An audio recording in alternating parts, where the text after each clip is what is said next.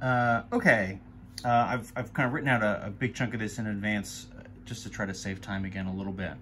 Um, I want to look at an example where we're dealing with the, uh, the root of a squared plus uh, x squared, that particular form, right? So this is kind of our second different like square root form. Um, the move here uh, is going to be to draw this triangle. So this changes the, the setup of the triangle. It's still the right triangle, and, and, the basics here is that you're shifting where you put the X and the A. Um, and then what happens if you put them in the sort of opposite and the adjacent, right? Then you get kind of a pure version of Pythagorean theorem where x squared plus a squared would, would equal, right, this side length squared, the hypotenuse squared. So then the hypotenuse itself would just be the root of that. Um, that's the way all these different sort of these three different triangle setups work is you're trying to sort of set it up so that when you do a Pythagorean theorem, you get that particular either right root of, in this case, the sum or the sort of root of the two differences. Um, when we do this, if we think of what the tangent of, of this triangle would be, tangent would be like x over a. So then x would be equal to a times the tangent of theta.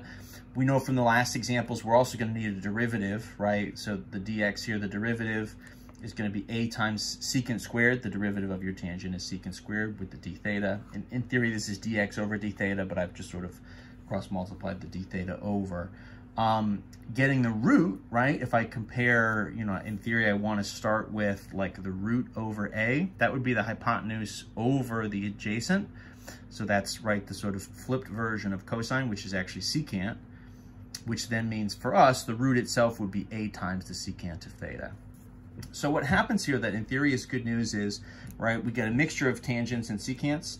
Um, we kind of know those functions go together as far as their derivatives and sort of antiderivatives anyway. So, so that's all kind of good news for us.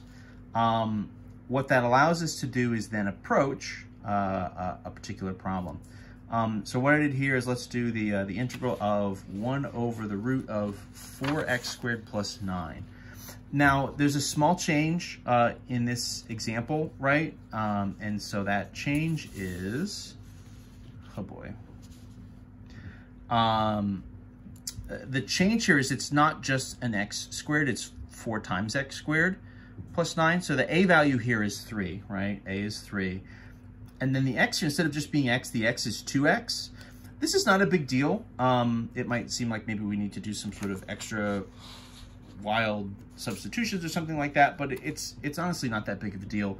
All we need to do is just draw our triangle where instead of having this side length be x, just use 2x instead, right? Excuse me. The whole idea is you're trying to set up and get this hypotenuse in this case to be the root of 4x squared plus 9. So, so you need it to be, well, 2x squared is 4x squared, right? And then 3 squared is 9. And so if we just do that, everything else falls into place. That has some effect here on what our sort of values are. So if I kind of do the tangent from scratch, tangent would then be 2x over 3 rather than just like you would normally expect it to be like uh, uh, whatever, x over 3. But now it's 2x over 3. This is not a big deal. It just means that the x would be then, if I sort of cross multiply, would be 3 halves times tangent.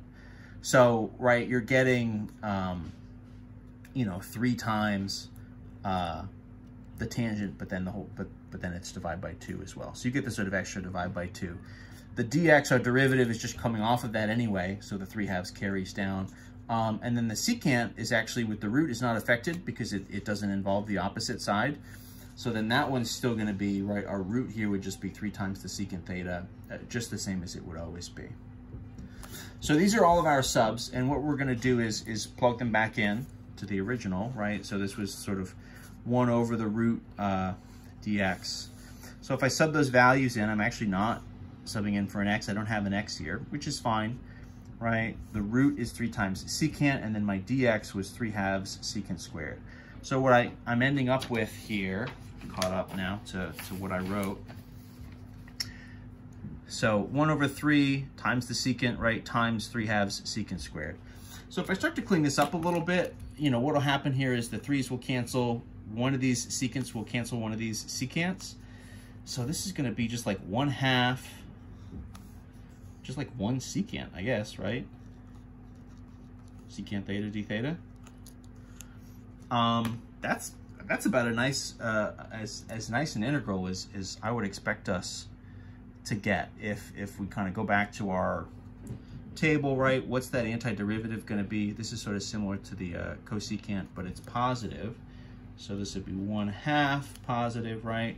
Natural log of the absolute of secant theta plus tangent theta. And the whole thing is plus c. And so then from there, all I need to do is, um, right, sub in for my secant and sub in for my tangent. So what are those going to be? 1 half natural log. Um, we should be able to pull these out pretty fast. We actually have, oh, we've got both of them over here, right? Secant theta is, is our root over 3. So I'll just actually pull those from the side. So 4x squared plus 9 all over 3. And then this is plus tangent, which was where? Here? Opposite over adjacent. So then that's going to be 2x over 3.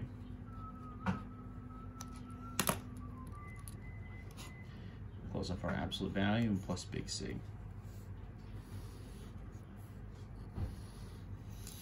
And that's going to be our final.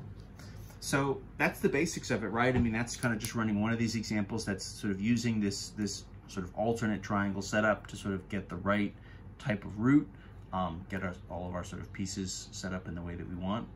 Um, and that's the move. Uh, I'll do one more of these with this particular type of root and this particular type of triangle, but I'll, I'll start it from scratch. From scratch. So we've got plenty of time. All right, see you in the next video.